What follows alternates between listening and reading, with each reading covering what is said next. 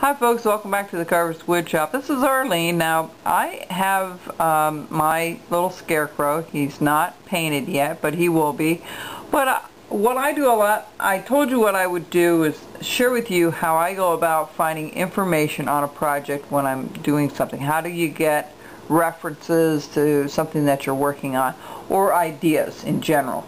Well, the the scarecrow was on my mind a couple of times and then it was I kind of confirmed by a friend of mine I said why don't you do a scarecrow? I thought you know that's a good idea. I'll go ahead and do that. So the very first thing I did when I because I don't have any scarecrows in my house or at the farm here so the best place to go for me and will be the best place for you if you're a little bit of an internet person uh, is to go to images.google.com now I did this a few years ago. This is kind of an updated version of that because if you go to the Google Images, it does nothing but photographs. Okay, you don't have to go through that listing and then try to find the photographs that way.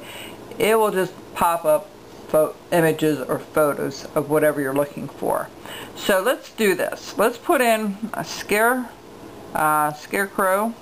Um, all right and see what pops up. See?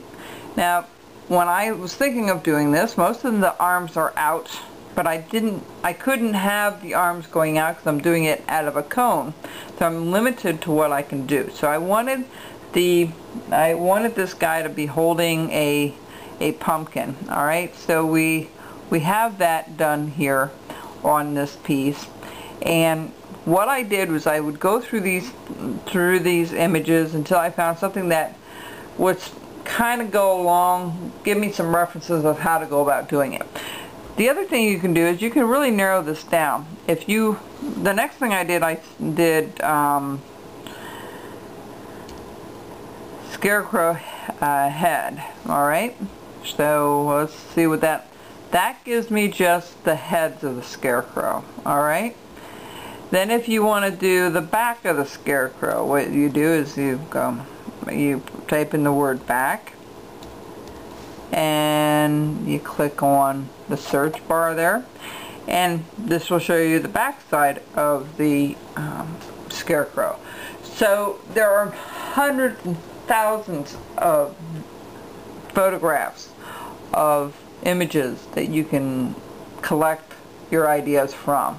So that's how I go about doing it. It's not very difficult when you're not sure how to paint something. Like I'm really, I have a general idea how I want to paint him, but I'll go back to this tomorrow and I'll go through it and say, okay, this is the colors I want. I want to pull this out, pull that out.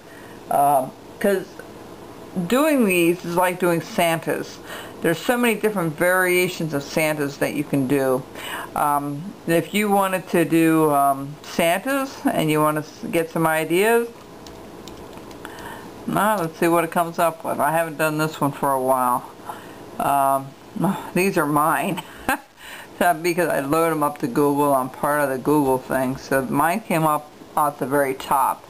But, you know, you can get all kinds of ideas for Christmas time this way. Now, they take a little time to load on mine because I use an air card. But, um, you know, you can get a wide variety of, of ideas um, you know, you can put all kinds, you can put reindeer in if you're looking up reindeer or whatever, ornaments. Um, you know, if I put up Santa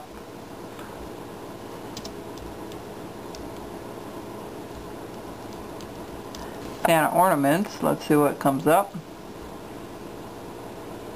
Okay, these are mine again up at the top.